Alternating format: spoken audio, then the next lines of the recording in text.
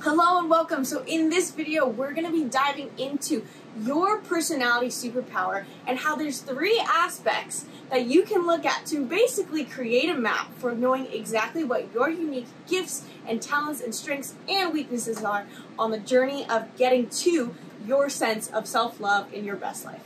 But before we get into it, I just want to remind you that this Sunday, October 1st, we are going to do it live in a Zoom call with you. So if you watch this video and you feel a little overwhelmed or you need a little more support doing it, plus to mention it's so much fun when you do it with a group, then click the link below in the description and sign up for our live personality superpower workshop. It's so much fun. We did one in person last week. Such a great evening for us and the attendees. So we hope you join us live this Sunday.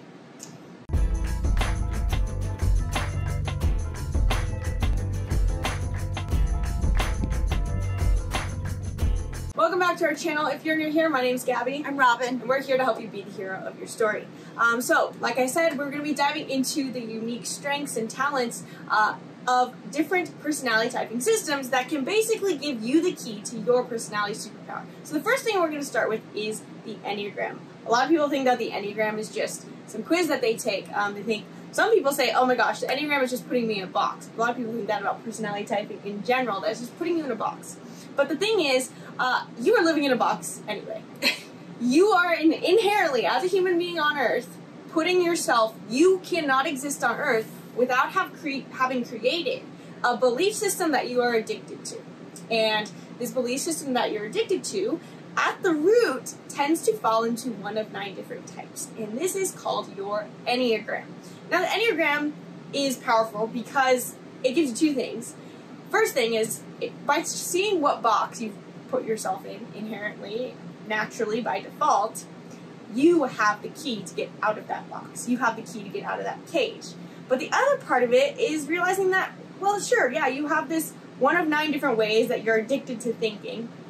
But with that personality that you've taken on, you also have a very strong skill set. You have a gift that lies within your hurdle, within your obstacle. And even though the, the Enneagram has growth numbers, by realizing what what uh, Enneagram you are, you know what the path to growth is. Yeah, so think about it. Like, what is the belief that's ruling your day today? Is it, I must be perfect? I must help? I must achieve? I must be special or unique? I must have information or be resourceful? I must be loyal? I must seek fun? I must be powerful? Or I must be harmonious? I must not rock the boat. One of those is the core belief thing is, is your wings on the side are your behaviors. And depending on how much time you spend reflecting or practicing metacognition when you observe your thoughts, you might be seeing yourself through the lens of behavior and not through the lens of the inner dialogue. Remember, your subconscious is controlling 95% of the thoughts that are happening. So only 5% you're really aware of. And part of learning about the Enneagram is bringing the subconscious thoughts to the conscious mind so that you can realize that, oh, I thought I was running, that it must be fun because I live my life based on chasing fun. When really it's that I feel deep down that I must be powerful. And the reason personally as an Enneagram 8 that I feel I must be powerful is because I have a childhood wound, that somebody didn't protect me. I got scared and they weren't there for me. And so I told, my brain told me to stay safe, you have to be the strongest person in your life. And I played that for a really long time. And you might have, Gabby, when she was younger, was very much the program of I must achieve, I must play competitive sports, I must be the best at these things. Otherwise, I might die. I don't know who I am outside of that. And so through the Enneagram growth numbers, like in my case, as really stepping into first that number two, and for Gabby, stepping into that number six, I can learn like, hey, well, it's great to be strong. Well, it's great that you have power. You know, maybe it's okay to like uh, dampen that a little bit or hone it down a bit and then practice from compassion. And I can tell you personally, great things have come to my life by me just showing up, not with this fear that I can't trust, and instead to be like, you know what, I think everybody else is kind of struggling the same as me. Maybe I can just meet them where they are and share some of my wisdom, which is number three that we'll get to. And you probably feel the same. Yeah, for sure. I mean, I think um, one thing is a lot of people mistype on their Enneagram because of what she said about the behaviors of the wings. And I think one way that you can help uh, realize what your number is is by looking at what the potential growth path of each type is. And the one that feels like, ooh, I don't want to do that, is most likely the one that you are, that aligned growth path is your probably your core Enneagram type. I think that for sure because as an Enneagram 3, um, and we're going to get into this a sec because this really ties into your energetic imprint too, where my Enneagram growth path as a type 3 is to step into the qualities of a 9, but more importantly, the qualities of a 6. And the 6 is the loyalist, who in their best is uh, trusts. Loyalty and trust work hand in hand, and so going from type 3, I feel like I have to make things happen. If I don't do it, nothing will nothing will materialize unless I force it to. And type 6 in their positive traits is that they trust that oh, good things happen. If I just stay loyal to the process, then I am rewarded for it. And that feels like what? I can't do that. But in moments of my life where I have been able to surrender into that trust, into that loyalty, well, not only does do I do you feel better as an individual by stepping into your growth number, I feel better when I step into that, but it also tends to bring me more of a sense of the things that I'm looking to create in my life. They usually tend to come faster when I'm stepping into that growth than if I'm trying to just stay addicted to my achievement oriented self. Yeah, I was thinking even as like a growth from three to six, if um, if you are in that number dynamic, it's an inner to outer. Sixes tend to trust in systems, in people, in ideologies, and threes tend to be extremely self-reliant.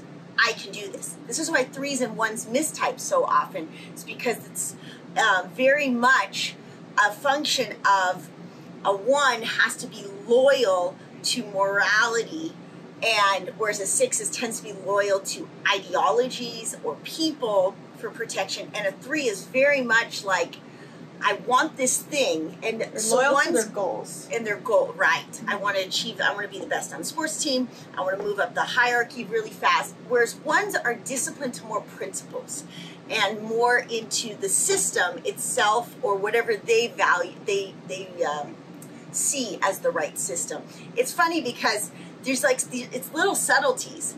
And you know sometimes it's hard to see people mistype and you're just like oh you just want to tell them so bad and you're like oh, you know you have to realize it for yourself.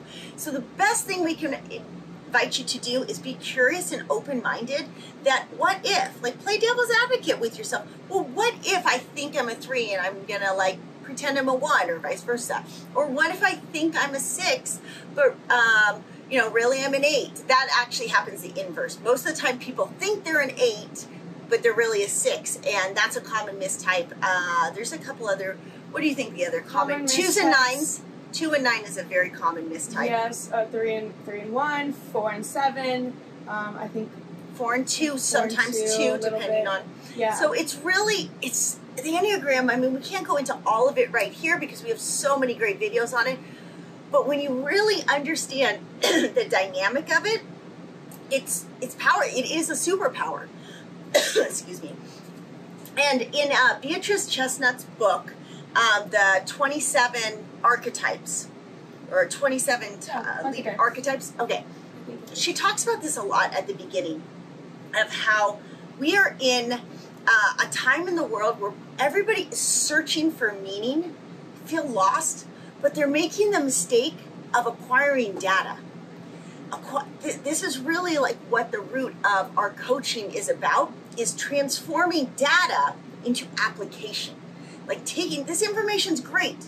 You can go walk around and be like, I am an Enneagram 4 wing 5. I am super unique. It's really important for me to have a sense of belonging, and I'm really great at finding data. That's awesome. It's awesome, but you can't stop there.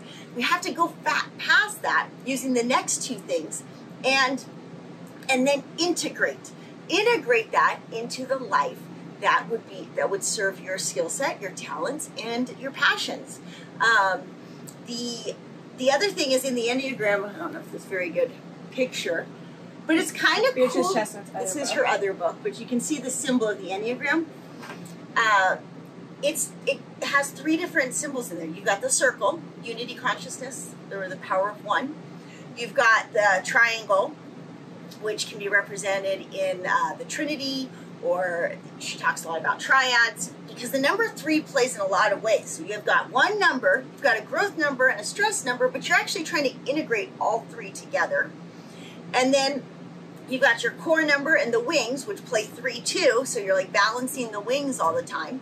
You've got three numbers that are in the head triad, you got three numbers that are in the body triad, and three in the heart triad. So it's really, you can go really far in looking for meaning just by understanding that. And then you've got the law of seven or the, uh, what do you call the seven? Um, it's not pentacle, that's five. The, when you have, you have seven, and that represents like cycles and the cyclical nature of humanity. Everything's everything goes through a process. So where you are now, people ask us often, can you change enneagrams? No, but you might change. I think in subtypes. I really do think so. We didn't subtypes, talk, you can become so embodied into your growth that you may seem like another type, or vice versa. So into your versa, stress. You can be so into your stress that you seem like another type. The question is, what's the core wound, the core karmic belief that you're here to work on and overcome, and no matter how much you work on, it's always going to come back. But you will be able to step through different phases of your growth and evolution. now that you know your Enneagram, the next part is where it gets really fun. Because as much as like Enneagram is so, so important, if you stop there, you're gonna miss out on so much potential. Like your superpower really, really truly starts in this next step. And this next step is your birth chart, your natal chart. Understanding all elements of it, not just your sun sign. Your sun sign is great, but that just is kind of like your general life path. It really doesn't give you that much insight. Yeah, so you're, you're Sorry. I'm dying. it's because I ate a brownie. Okay, sorry.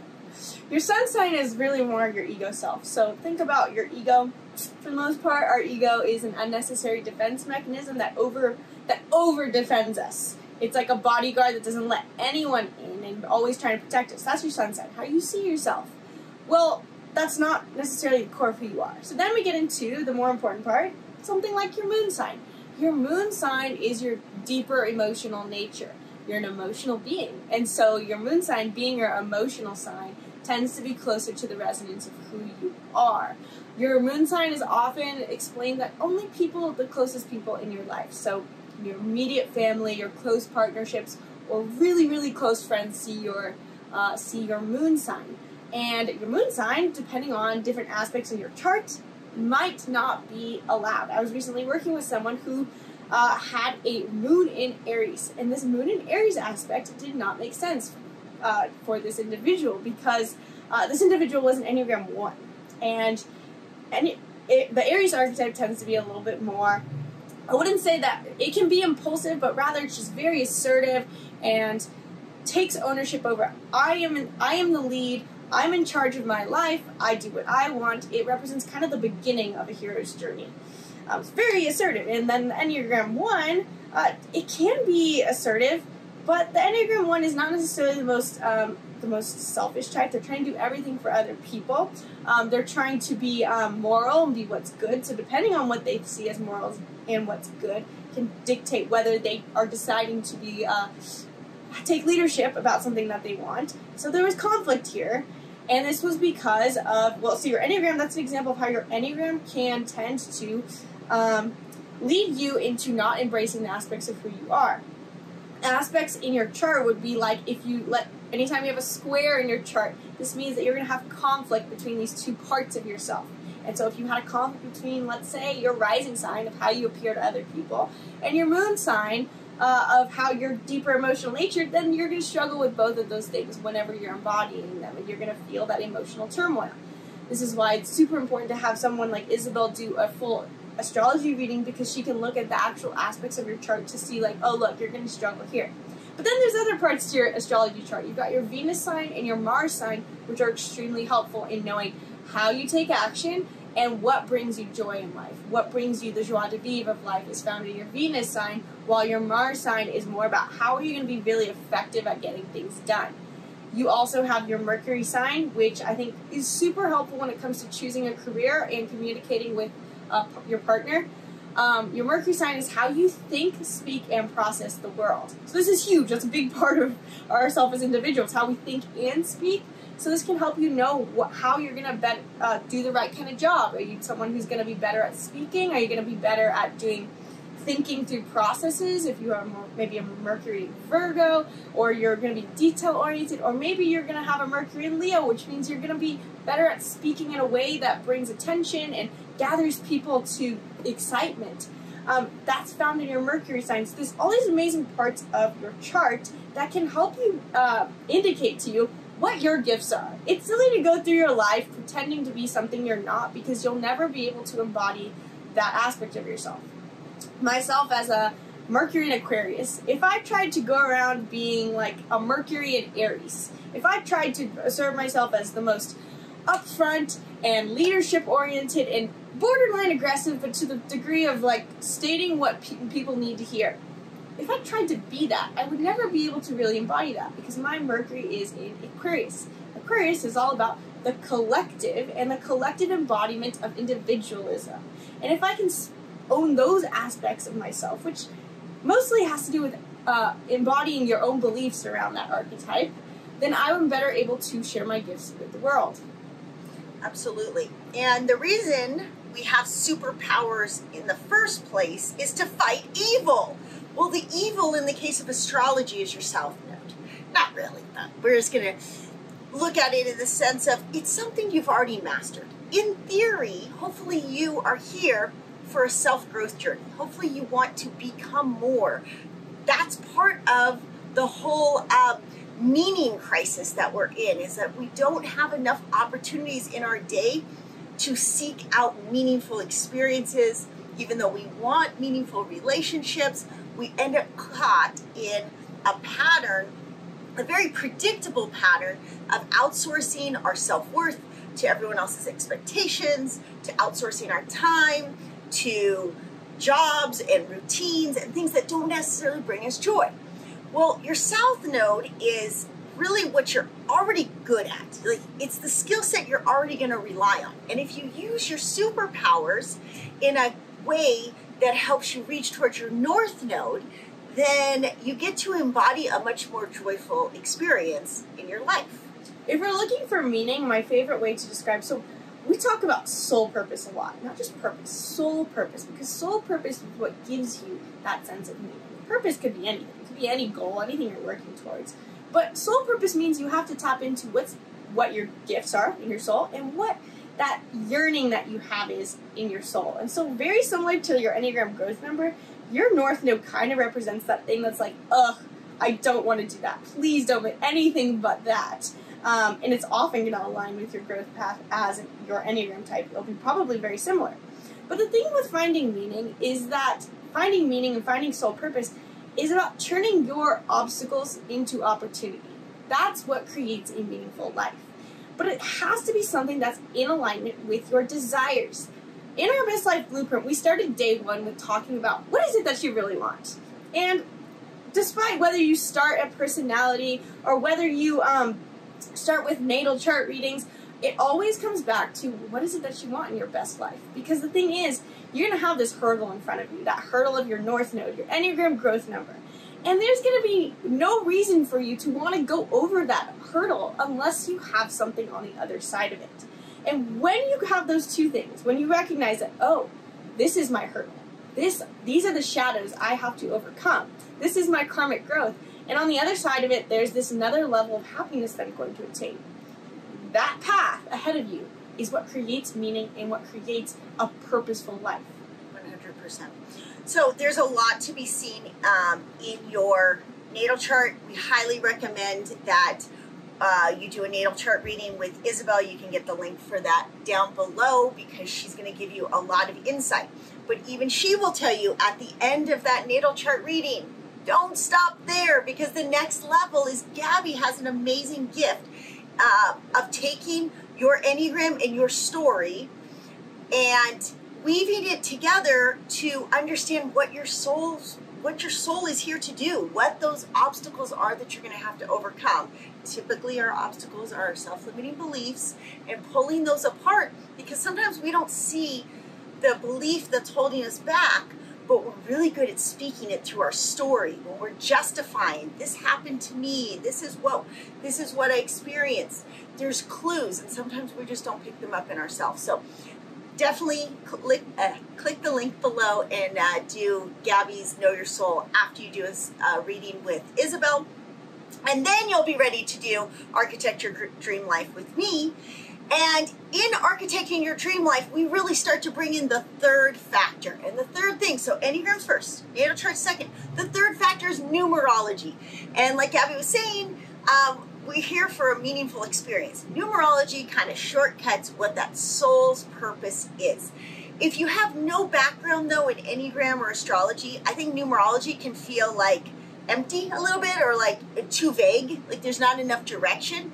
But by knowing natal chart, knowing Enneagram, and then applying numerology overlaid on top of it, then it's like, oh, of course, now I get why, as an 8, Enneagram 8, who had to protect herself, that all of a sudden my life path as a 36 9 is to overcome my self doubt and really embody helping others by sharing just my story, not telling them. An Enneagram 8 wants to be like, here's what you should do right? As opposed to like, well, in my experience, this is this is what's happened. This is this is why I feel this way. This is why I think this way. This is this is the risk I've taken. You know, you might want to try it too. It worked out pretty good for me, but hey, let's look at your chart and see if that can work the same for you. That wouldn't make sense if Gabby's a uh, moon in Aquarius or Mercury in Aquarius. Mm-hmm. Like that's naturally going to come to her. Hence why she's so good at know your soul. But when it's time to build a house, when it's time to be like, hey, I'm gonna keep, like, what's your dream life? Let's make this happen. Let's not make it talk. Let's build this dream house, this dream life.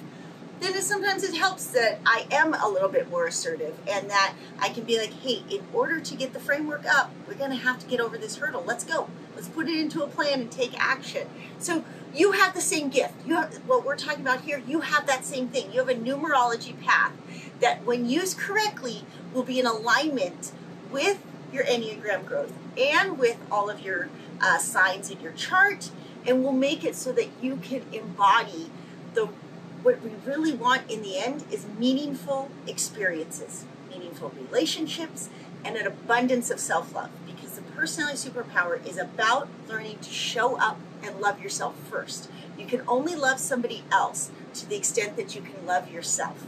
So if you're constantly telling yourself, I, I, I just give out to everyone because I love them so much, but you've fallen asleep to your own sense of self, then you really can't love it, those people fully. You're looking to grab attention or affirmation, and we want to shift that. We can want to love ourselves so much that our joy is just beaming out, and then we're helping others from a much more powerful space. I can't say enough how much all of these three things together uh, are so, so, so powerful and so, so, so impactful. Uh, yes, I think each of these things stand alone does not give you enough. I think if you're into astrology and you don't look at your Enneagram, you're completely missing the aspect of, of childhood programming and trauma responses and how you have a wound and how you have this story that you're now living your life by.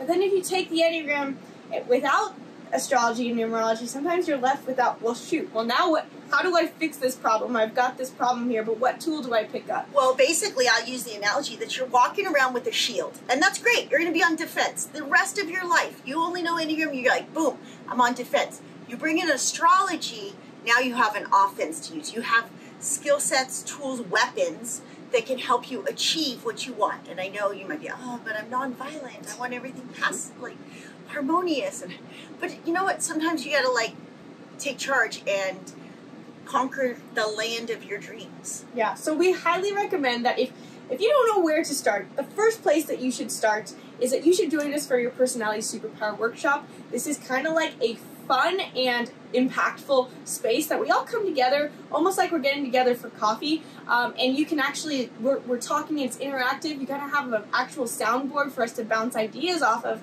Um, if you want a full natal chart reading where you're just getting a space for you to find out as much about yourself then skip the workshop and just dive straight into a natal chart reading so that you can begin your journey to your best life. But the personality superpower workshop is really fun, um, and you'll actually get to share what your what's in your actual birth chart. So it's not just us talking um, and you listening. You'll get to actually share in that space. Absolutely. All right. Thank you for joining us today.